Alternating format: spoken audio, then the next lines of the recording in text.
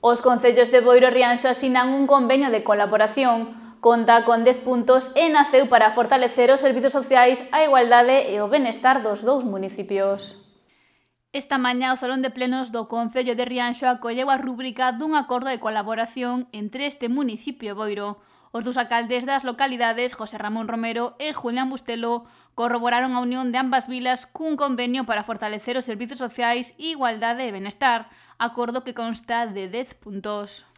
Creo que vai ser un claro exemplo para os demais eh, concellos. Eh, estamos vendo que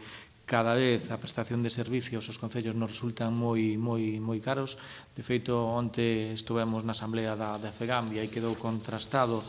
pois os problemas que estamos tendo os concellos, que estamos asumindo eh, servicios eh, que non temos eh, competencias, eh, canto máis colaboración entre concellos podamos facer, os servicios eh, se abaratan e non só que se abaratan, sino que se poden prestar eh, cos mesmos servicios mellor, me, o mellor servicio, non cos mesmos, cos mesmos eh, medios.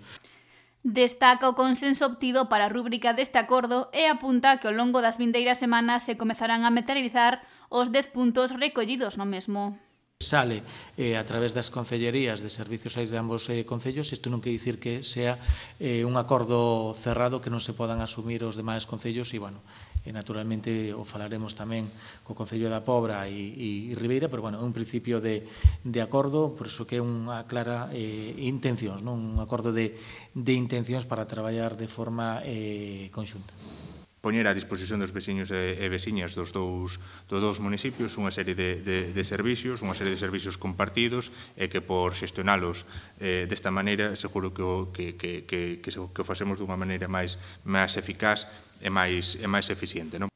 quen destacou algúns dos puntos que conforman este acordo entre os dous municipios. Pois o feito de que aquí en, en, en Rianxo dispoñamos eh, en breves eh, estarán, esperemos que estén en funcionamento as, as vivendas as vivendas sociais, pois evidentemente pois que, que, que dentro da, da regulación desas vivendas pois que a participación de, de Boiro tamén se contemple pois, como unha opción como unha opción prioritaria. Do mesmo xeito, pois, as, as vivendas de impulso xove do Consello de Boiro pois, que tamén contemplen ese, a, esa, esa asistencia aos, aos veciños e veciñas de, de Rianxo que poidan necesitar da axuda de, desta axuda. Non?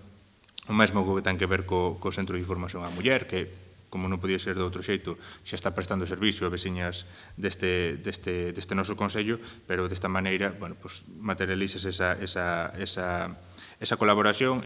Acordo que pretende tamén ser un punto de partida unha colaboración máis ampla en Seido, valorando a opción de crear un centro de maior envergadura para dar servizo aos dous concellos, Este convenio tamén inclúe o desenvolvemento de actividades conxuntas e de realizar reivindicacións como son a falta de, de, de prazas nas, nas escolas infantís, o, o mantemento das mesmas, a falta de prazas en, en centros de día ou, ou en residencias, é que non só temos que, que, que buscar solucións pola nosa vía, senón que tamén temos que demandar e a quen compete que, que, que o atenda e seguro que iso facemos dunha maneira conxunta pois que tamén o faremos con, con máis contundencia. Non?